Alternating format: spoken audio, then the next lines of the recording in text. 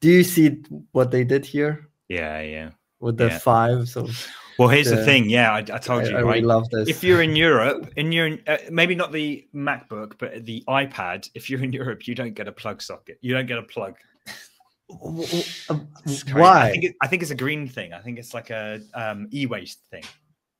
Yeah, not, not even a cable. Do I get a cable? You get a cable. You get a cable. okay, but like gonna- I have a 120 or like 140 watt charger for my MacBook. Uh, like I have the M1 Pro, the 16 version. So Mhm, it's a it's also a really big charger that I don't bring anywhere with myself, by the way, Mhm, because it's so big and it has one port.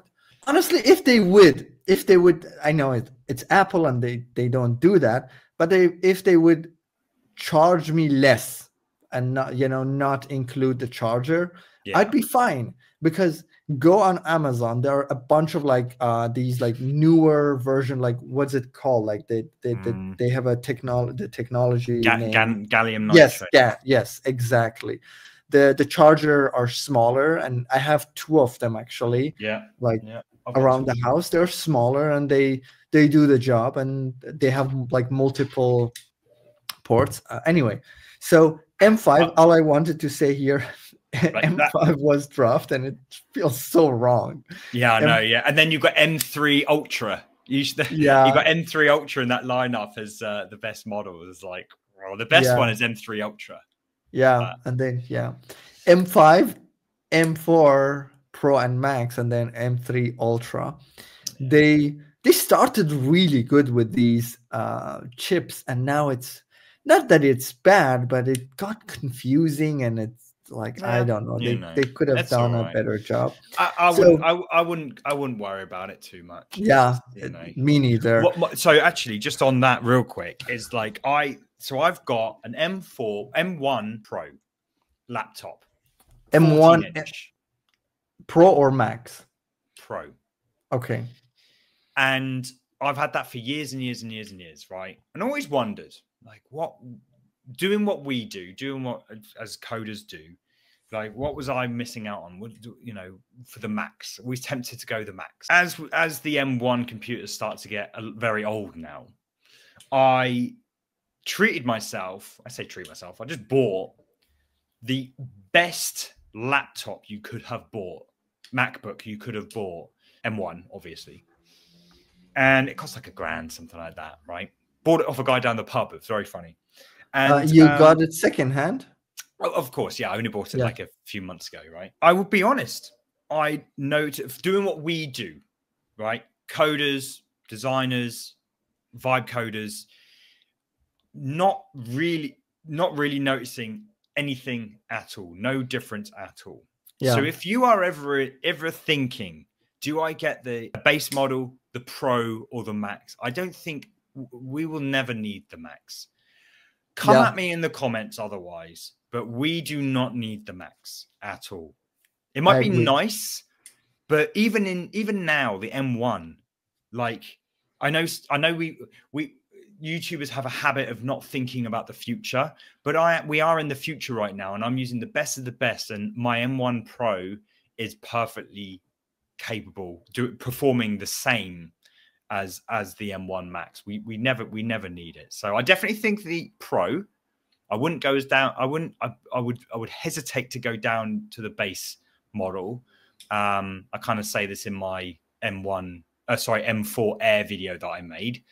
You would you could get away with it if you're tight on cash and you know you want something to get the work done, but you would. I think you would inevitably upgrade to a Pro, but never a Max. Never a Max.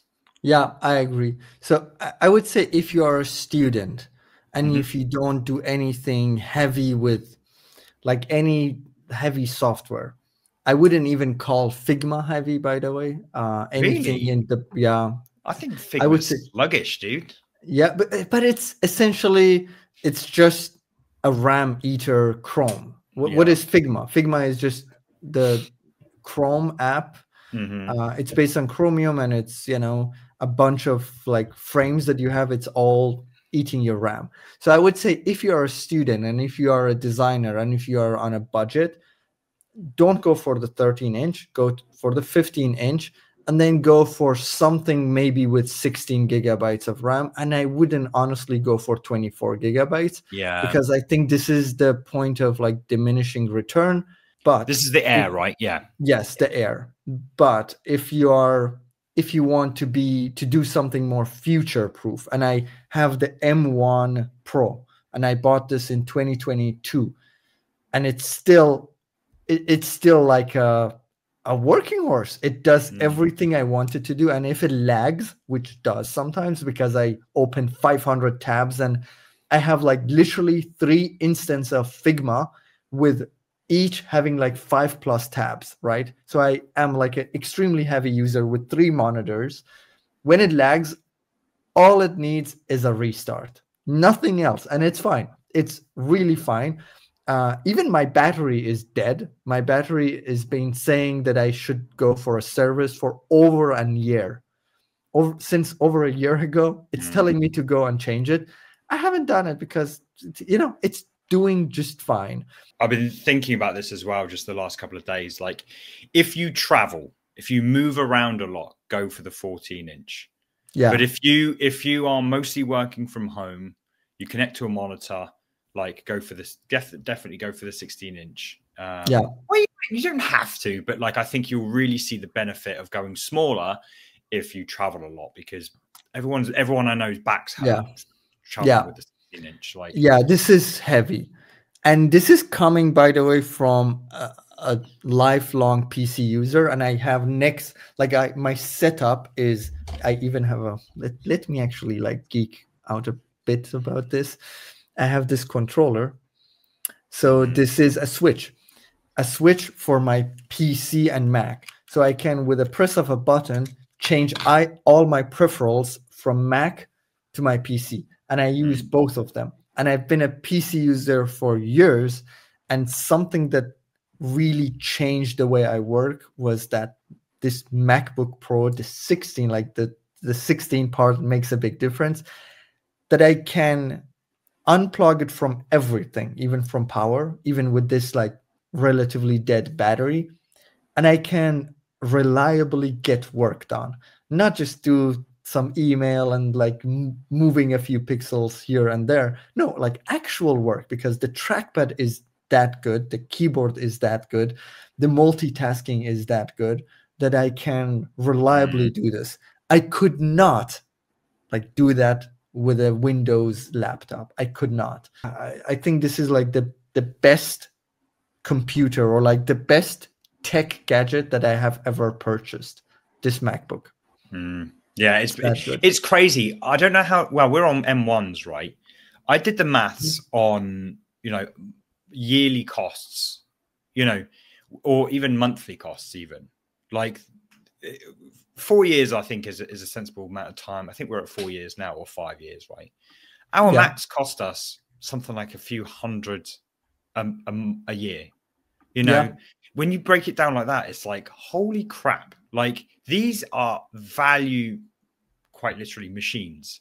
Yes. The fact, if you think about paying, I think it was something like 30 pounds for me a month. If you think about you can get a computer for 30 pounds a month like a, a, really good computer for 30 it's just that's crazy like yeah it's almost like they should be worth a lot more but obviously no yeah yeah so are you, are you, connected to usb-c yes uh and i'm running like one of the monitors through the usb-c yeah because like peripherals.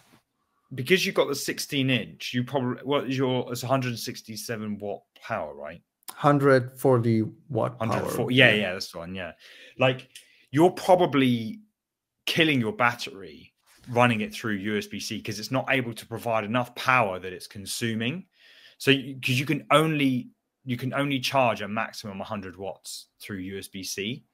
So okay. you might consider like I mean you're you're screwed now because your battery needs replacing or whatever. But like it the the MagSafe because it can charge at the 440 watts. Interesting and, point. Yeah. Yeah. You're like that. I, I used to where is it? I've got remember remember dongle life, right? I used to yeah. I used to put my power um, into a dongle. I just wanted this really clean setup where I could just have one cable. And so I had a dongle where my power my USB C power cable went into that, and then the dongle went into my my computer. That dongle killed the you know it wasn't like a direct throughput and i think i was probably charging it at like 30 watts or something like this because it was just killing it. You could never have that amount yeah. But yeah thinking about like it trying to work and charge at the same time whereas macs are really good at like you know holding holding their charge and and not eating the battery or using the battery if you're plugged in so but if you're monitors and things like that are constantly drawing power. It's constantly having to charge it back up because it's eating away at the battery. Yeah. You know. But anyway. Yeah. Um, yeah. yeah that, that's a good point.